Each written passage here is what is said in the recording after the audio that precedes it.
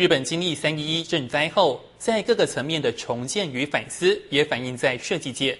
参与二零一一年台北世界设计大展的日本设计师中川聪，并以“期待学”为主题，在日本馆展出日本孩子们的绘画作品，让他们表达心中对未来的期待。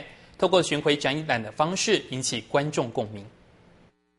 彩色笔、蜡笔、铅笔。或是用毛笔写下日文，近百张的 A4 作品挂满墙面，每一个笔触都透露出日本孩子们心中对未来的期待。で、その子供にとっては放射線の半減期が8日間だとか、そういうことは本当は知らなくてもよかったことなんです。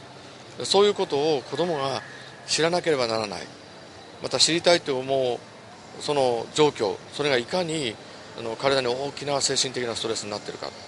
いうことを我々はもう本当に強くあの非常に悲しい気持ちを持って受け止めるわけです。日本震災後，设计也产生了微妙的变化。家住茨城县的设计师中川聪实地造访灾后家园，致力研究通用设计的他，以脐带学为主题，展开设计与人性之间的反思。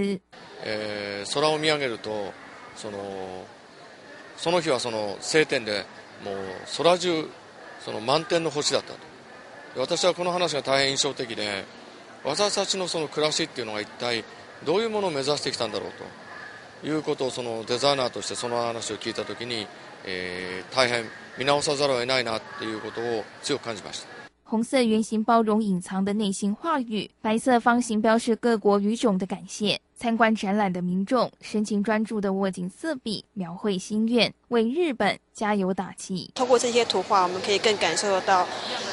觉得他们真的很辛苦啊！